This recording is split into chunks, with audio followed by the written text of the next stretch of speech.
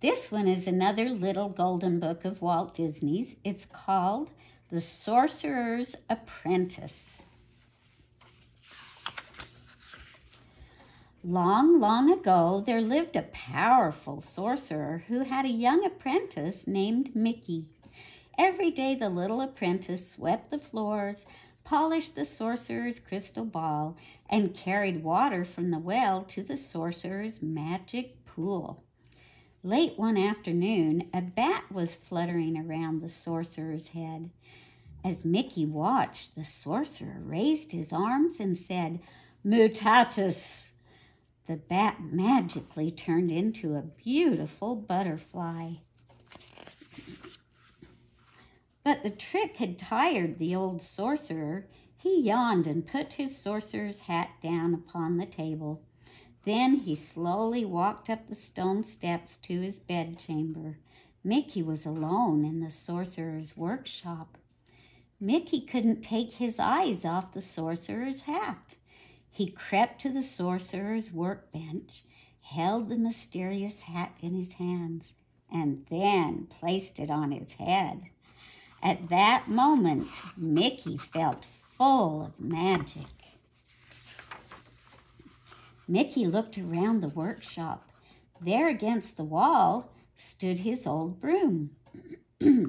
As he had seen his master do, Mickey raised his arms and said, Mutatus. The broom began to glow. At Mickey's command, the broom's handle sprouted arms and its straw divided into two legs. The broom had come to life. But would it obey the commands of a young apprentice? Pick up the buckets, Mickey said. The broom obeyed. Mickey led the broom to the well. Fill the buckets here, Mickey ordered. Once again, the broom obeyed. Carrying the two buckets of water, the broom followed the little apprentice back to the sorcerer's magic pool. Empty the buckets here, Mickey told the broom. Then do it all over again. Back and forth went the broom from the well to the pool, feeling very pleased with himself.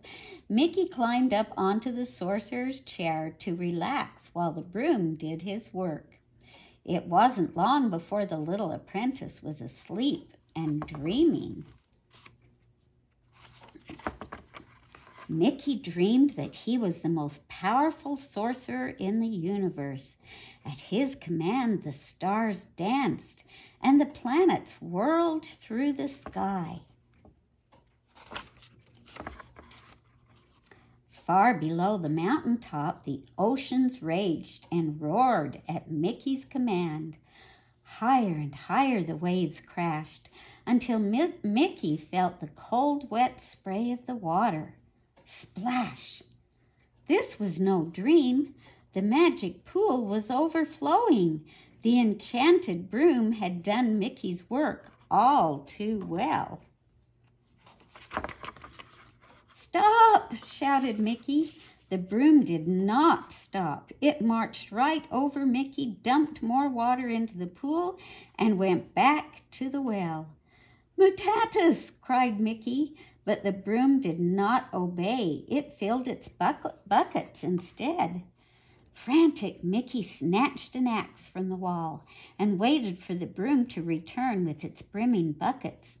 Then he raised his arms and chop, chop, chopped the broom into a thousand splinters. All was silent for only a moment. Suddenly, each splinter jumped off the floor, sprouted arms and legs, and became a broom. And each broom carried two buckets. The army of brooms, with its hundreds of buckets, marched from the well to the pool and back again. The water was getting deeper and deeper. By now, the little apprentice was swimming for his life.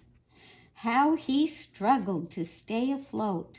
When the sorcerer's book of spells floated by, Mickey climbed on top of it. Turning the pages as best he could, he looked desperately for a spell that would stop the enchanted brooms. Just then the book began to spin. Mickey was caught in a whirlpool. He felt himself being pulled down, down, down.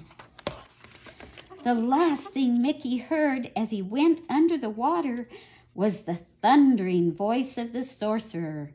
Mutatus! boomed the sorcerer from the top of the stone steps.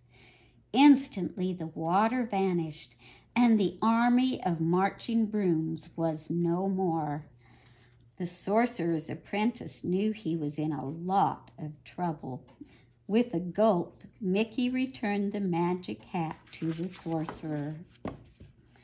Making a hasty exit, the sorcerer's apprentice felt himself being swooshed out of the room with the broom. Don't forget your broom, said the sorcerer. And if Mickey had looked, he would have seen the sorcerer smiling. Now I have a surprise for you.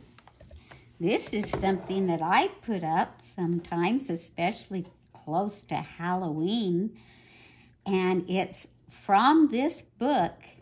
And I'm going to turn it on and let you watch the brooms as they dance. And that's Mickey at the top having his dream thinking he's the best sorcerer in the whole world. Here we go.